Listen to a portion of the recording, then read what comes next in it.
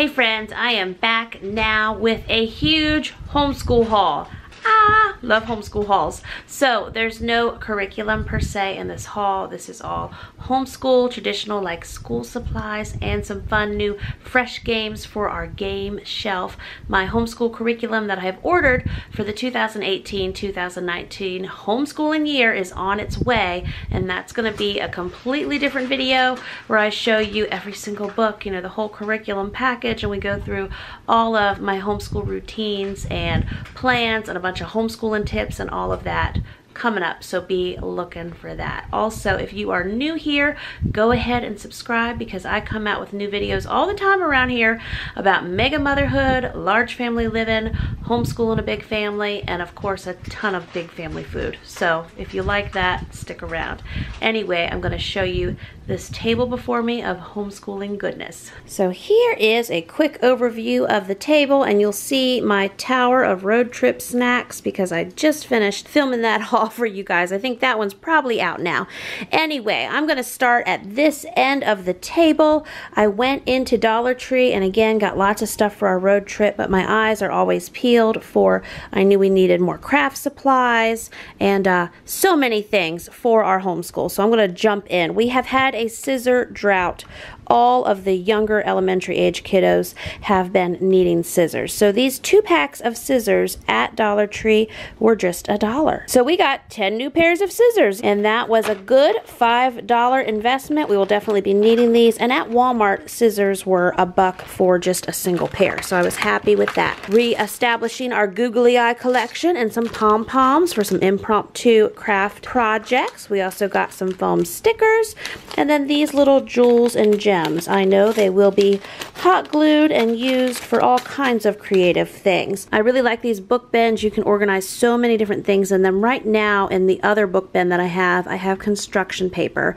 and there are just many things I'm going to use these to organize on our homeschool shelves. Also, my younger crew, particularly Daniel, who's three and a half, Amelia, who's five and a half, and Liam, who is seven and a half. Lots of, those are my winter birthday kids. They're doing all the puzzles right now. All the puzzles, all the things. So obviously, Amelia can do this one. I figured she would do this one. Daniel's gonna work the Paw Patrol. Liam can do these, and Amelia will probably give these a go also. This is everything I got for our homeschooling life at Dollar Tree at this moment, but believe me, I'll go back other times for other things. But school-wise, these are the things that caught my eye this go-round. Also, the only thing I got at Hobby Lobby for our homeschool is this basket. The price tag says $12.99, but it was one of their 50% off deals. So I got this to organize things more on our IKEA homeschool shelves. So Walmart is setting out all of their school supplies. And of course, now if you wait until into August, and even if there's anything left beginning of September, their school supplies are gonna be even cheaper. I mean, I've gotten like notebooks there for five cents and 10 cents. And of course, I'll buy cases of them like this size case. And right now, these colored pencils are 50 cents each. But if you wait into August, they'll be a quarter or less each. So that's obviously an excellent time to stock up. Now, other times of the year, these are going to be 97 cents each. So I got several packs of these while they're 50 cents. I will keep my eye out in August. The thing is, some years when I've waited for the sale prices to be even deeper, you know, if I get busy doing other things, which it happens happens to me, it happens to you. Some years I've totally missed it.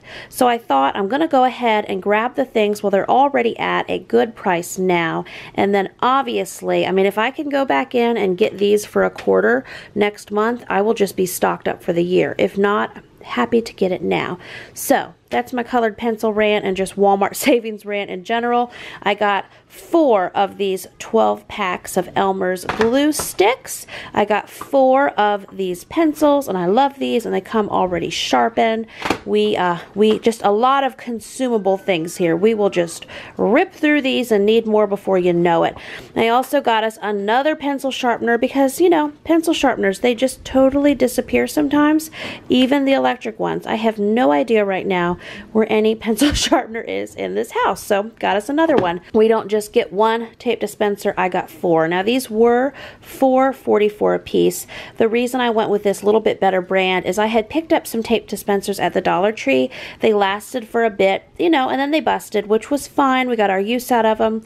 But number one, when I went to Dollar Tree, they didn't have any. Number two, we still need tape, and I really like the dispensers because my kiddos love working with tape. Anyway, so I got four of them. That was like my homeschool mom investment for this coming homeschool year is to get tape dispensers. Now, I did not pick up the tape refills, so we shall see how long these last, but um, you know, good intentions, right? Then I love these Primary Journal Creative Story tablets. Uh, these are just so fun to write stories in and to draw pictures, and we use these often. So I went ahead and bought a whole case because whenever they're more expensive when I go to order them on Amazon, and we will use them. So there you go. Yay, I got a whole case of those now. I think I got 34 boxes of Crayola crayons.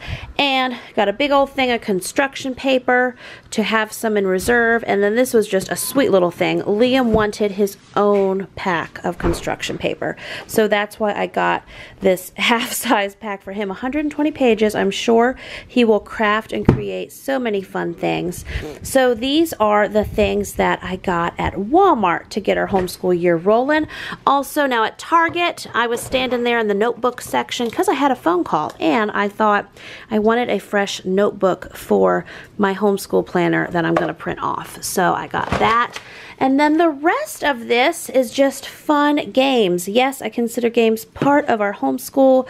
We love to do game schooling. So many good life skills can be worked out playing games. Oh, and then the Spirograph, obviously not technically a game. This is a creative art tool that the kids have loved and used, and our other one has just been used until we've just lost all the little pieces, etc. So I got them a fresh one. I think this was $14.95.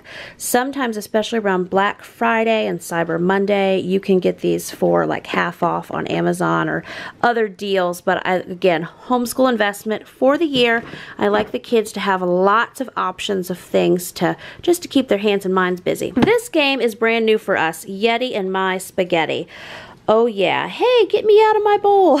So I was laughing and picturing us playing this game. So I picked up Yeti in My Spaghetti. This was at Target. The Target games, they were all they were all priced decently. And since we have unloaded our games from storage and gotten them on our shelves, I can see where there's games where we've lost some pieces. So we got a fresh copy of Operation. We have never owned a Let's Go Fishing game, but my mom has one of these, and so the kids have played this before, and this was only like $6, so we'll play that.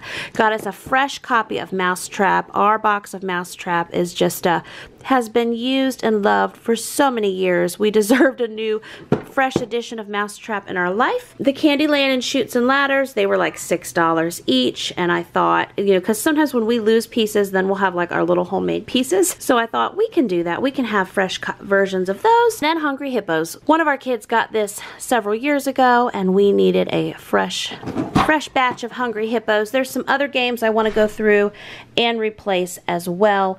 But again, these are our getting ready and rolling for the new homeschool year treats. So I'm going to go through now and I've been working on unloading some of our homeschool goodies into our new IKEA homeschool baskets.